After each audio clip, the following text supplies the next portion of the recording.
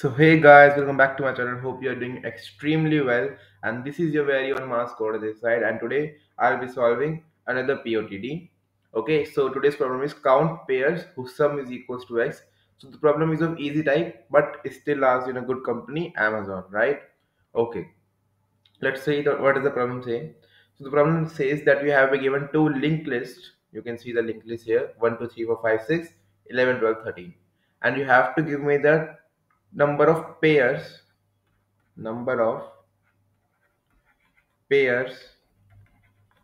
A comma b such that a is in linked list 1 this is my linked list 1 and b is my linked list 2 this is my linked list 2 right? And a plus b is equals to equals to x. X is also given to you as input right? Here x is 15 so we find it. What are the pairs you can look out for you can see that 2 comma 13 is such a pair, right? After that 3 comma 12 is also such a pair. After that 4 comma 11 is also such a pair, right? Okay. So uh, what is the number of pairs? It is 3 pairs, right? So your answer would be 3. So very easy problem, right? Very easy problem. Let us look at the approaches. So there are two approaches that I could figure out for this problem. First one of them is brute force, right? As usual. Brute force. So what does brute force tell us? Brute force tells us traverse linked list 1 right inside it second step traverse linked list 2 right? That is nested loops. Okay nested loops using uh, traversal. Okay and if the condition satisfies answer plus plus. Otherwise just return answer here.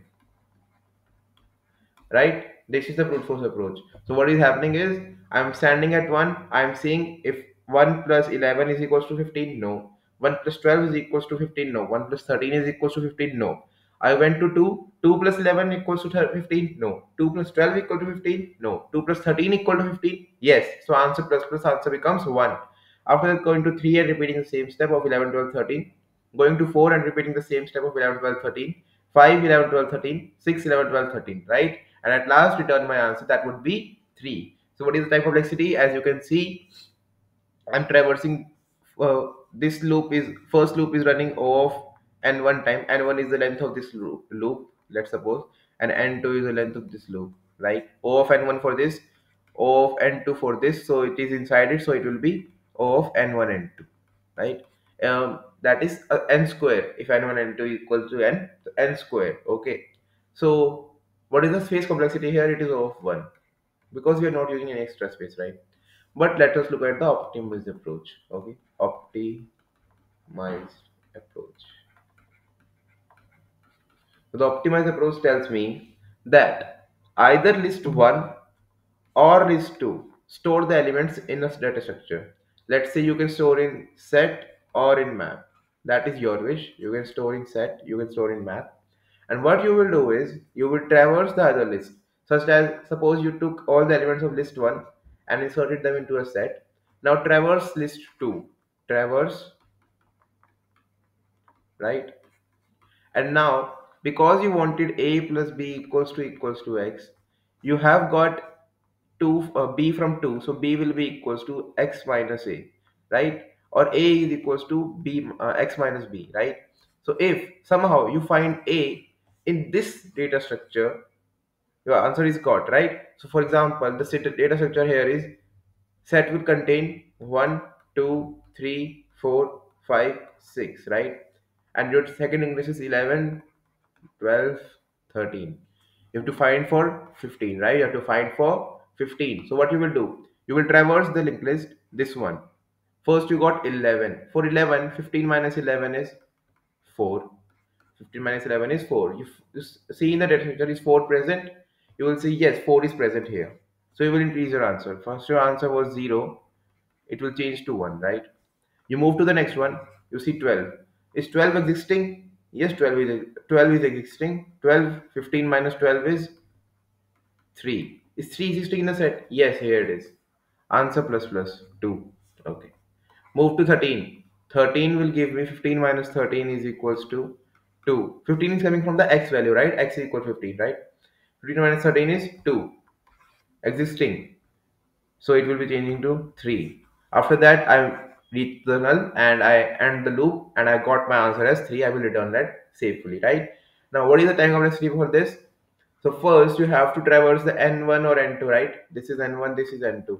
First traversal to store in the set, right? So O of n1 and the second traversal to uh, traverse this linked list so n2 right okay this can be changed to o of n only right and the space complexity is either o of n1 or o of n2 because you're storing either the elements of the first list or the elements of the second list right? Okay so this was the stable space complexity of this and i hope that the problem was really easy for you to understand. And if other questions are left i'm open to answer them in the comment section. Please reach out to me. Also if you're new here do not forget to subscribe. Now let us look at the code really fast right? Okay we have been given head no head 1 head 2 and x right? So first i will create my set and let us keep the value int there because i just need the value and let us name the set as st as usual. Now i will create a node temp to traverse the first linked list to store the elements into the uh, set. Now while temp right simple traversal what i will do is st dot insert temp data. Temp will become equals to temp next right this will store all the elements of temp, uh, linked list one into the, my strings uh, set right? Now another answer is my answer will be zero. I will make my temp equals to head 2 for the traversal of head head 2 linked list that is linked list 2 now while temp right my value is equals to temp data right? Now if st dot find x minus 12 right is equals is it not equals to st dot end that is the element is present into the linked list then answer plus plus. Oh sorry. And then return your answer right? Hope this will work. Let's see. Compile and run it. Oh there has been some error. Oh okay. Temp equals to temp next is done not done. Temp equals to so it is running into an infinite loop. Let's see now what happens. Oh again a mistake. It would be sorry guys. And let's check it now. Oh okay running fine for compile and try it for submit also. In the meantime i would request you guys to subscribe to my channel and you can see the pointer going up. You can see it is done correctly. And thank you for watching my video. Hope you enjoyed it. Hope you liked it. Please don't forget to subscribe to my channel and like the video. So see you soon. See you tomorrow. Till then keep coding. Have a nice day. Bye